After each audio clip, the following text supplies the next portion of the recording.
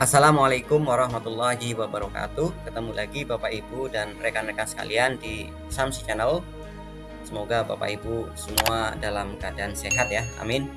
Baiklah, langsung saja pada kesempatan kali ini kita kembali sharing tentang pekerjaan di IRKAM ya. Semoga bermanfaat bagi madrasah yang sudah menjadi sasaran program IRKAM. Pada kesempatan kali ini kita akan cerita uh, sharing bagaimana uh, konsep pekerjaan di Erkam secara garis besar ya karena ini adalah pekerjaan yang setiap tahun akan kita uh, lakukan maka konsep pekerjaannya bagaimana garis besar pekerjaan yang harus kita lakukan di Erkam selama satu tahun uh, kita perlu pahami ya Bapak Ibu sekalian Terima kasih. Jangan lupa Bapak Ibu yang belum subscribe channel saya, silahkan di subscribe dulu Bapak Ibu. Barangkali ada yang baru menemukan channel ini, tombol subscribe-nya masih merah, silahkan ditekan dulu ya Bapak Ibu. Jangan lupa tekan loncengnya juga agar tidak ketinggalan dengan video-video saya berikutnya ya. Oke Bapak Ibu, langsung saja untuk melakukan pekerjaan di Erkam, kita tahu ada dua akun ya, ada dua jenis akun, yaitu akun kepala madrasah dan akun bendahara atau akun staff. Akun bendahara atau staff memiliki fungsi yang hampir sama, berbeda dengan akun kepala madrasah. Oke, Bapak Ibu, lalu bagaimana dengan pekerjaan yang akan kita lakukan? Pekerjaan di RKAM, kalau di sini saya golongkan menjadi tiga ya, Bapak Ibu sekalian, menjadi tiga poin besar pekerjaan. Yang pertama adalah IDM, ya, EDM, evaluasi diri madrasah yang kedua, poin kedua adalah menu rencana. Di menu rencana Bapak Ibu. Di sini ada rencana pendapatan dan rencana kerja dan anggaran. Dua rencana. Dan yang ketiga adalah menu realisasi Bapak Ibu. Menu realisasi ya. Menu realisasi ini uh, adalah kita lakukan ketika dana bos sudah cair. Oke Bapak Ibu ada tiga jenis EDM, rencana, dan realisasi. EDM dilakukan setiap akhir tahun. Setiap akhir tahun. Menu EDM dimulai dari akun staff atau bendahara. Di sana isi uh, upload uh, berkas atau bukti fisik ya, kemudian isi deskripsi, penentuan level, semua poin ya dari semua indikator yang ada. Kemudian uh, isi juga rekomendasi yang diberikan berdasarkan berdasarkan hasil EDM ya. Kemudian nanti di setelah diajukan maka di akun uh, kepala madrasah melakukan pengi, uh, persetujuan atau penolakan ya terserah tergantung kepala melakukan persetujuan terhadap hasil EDM yang sudah diisi di oleh TPM tentunya di akun staff ya.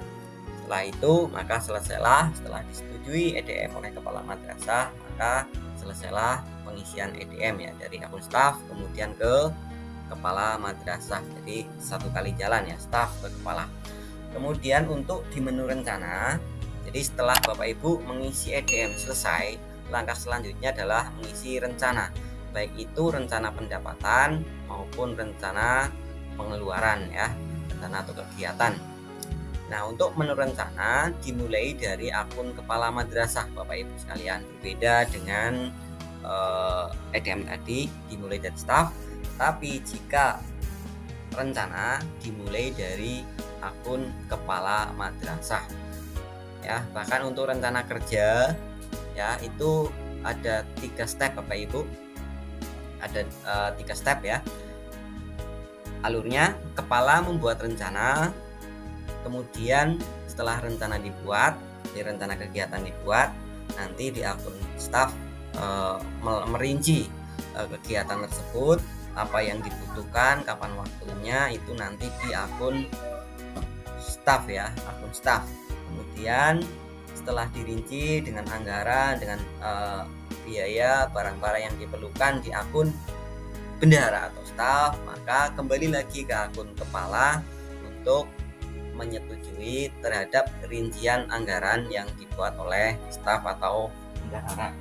Ya, Bapak Ibu sekalian, itu saya ulangi di mundur rencana dimulai dari kepala ke staf, kemudian ke kepala lagi. Ya, bolak balik Bapak Ibu sekalian.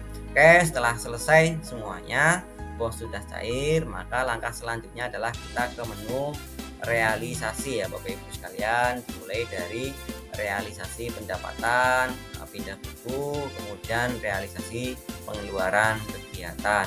Untuk alur pekerjaannya untuk di menu e, realisasi adalah dimulai dari staff dari akun staff untuk mengisi realisasi kemudian dari akun staff ke akun kepala madrasah untuk menyetujui ya setelah dari akun kepala madrasah disetujui maka kembali lagi ke akun staff atau bendara untuk menentukan tanggal realisasi ya Bapak sekalian. Jadi kebalikannya tadi, kalau realisasi dari staff ke kamat, kemudian dari kamat ke staff lagi. Bolak-baliknya juga sama seperti tentana, cuman dimulai dari staff. Jadi seperti itu Bapak Ibu ada tiga uh, poin kegiatan di RKAM saya ulangi EDM rencana atau RKAM dan realisasi. Yang alurnya itu berbeda-beda. EDM dimulai dari staf ke kamat. RKAM atau rencana dimulai dari kamat ke staf ke kamat lagi. Realisasi dimulai dari staf ke kamat kemudian ke staf lagi. Alurnya seperti Bapak Ibu Oke Bapak Ibu sekiranya sekian video kali ini semoga bermanfaat. Jangan lupa yang belum subscribe channel saya silahkan di subscribe dulu Bapak Ibu. Tekan jempol like komentar dan bagikan sebanyak-banyaknya. Semoga bermanfaat alur pekerjaan di RKM ini yang sebenarnya uh, spot apa bagian dari bagian video ini sudah saya sharing detailnya di video-video saya sebelumnya. Jangan lupa berkunjung Bapak Ibu. Terima kasih sampai ketemu di video selanjutnya. Wassalamualaikum warahmatullahi wabarakatuh